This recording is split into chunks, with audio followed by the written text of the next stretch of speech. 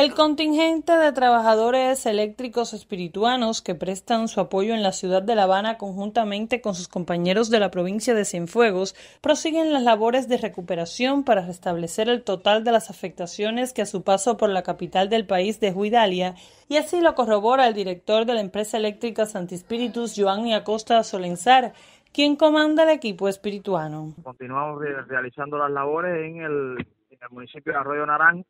uno de los tres municipios que mayor número de, averías le ha venido sucediendo y continuaremos los trabajos en, en estas zonas donde donde realmente todavía quedan afectaciones de hace varios días por la por la lluvia que fue lo fundamental que afectó aquí en la en la cabecera nacional. Continuamos con los trabajos dando prioridades, por supuesto, a aquellas zonas donde más clientes están todavía afectados, pero ya trabajos de envergadura prácticamente ya todos fueron realizados, ya todas las líneas de 33 y, la distribución primaria están restablecidas y trabajamos fundamentalmente ahora en lo que son averías secundarias, que son transformadores que estén disparados o dañados, cables en ese nivel de voltaje que estén todavía eh, partidos. Es decir, eh, ya el número de clientes ha venido disminuyendo las afectaciones y bueno, nos, nos, mantendremos en este municipio eh, durante el jueves haciendo las acciones de, de, restablecimiento ¿no? de la electricidad en, en, estos circuitos secundarios que es prácticamente lo que queda aquí en la, en la cabecera nacional.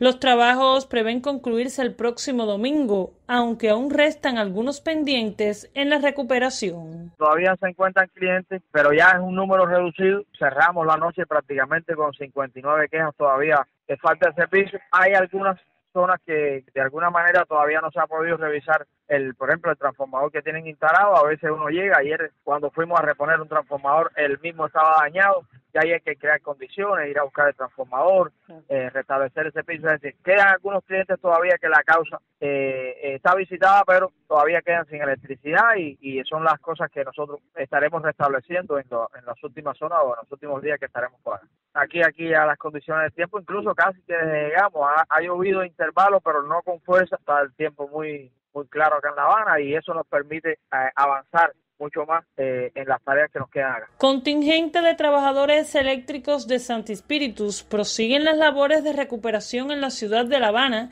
en el afán de restablecer totalmente las afectaciones del servicio eléctrico ocasionados por las intensas lluvias de la tormenta tropical Idalia.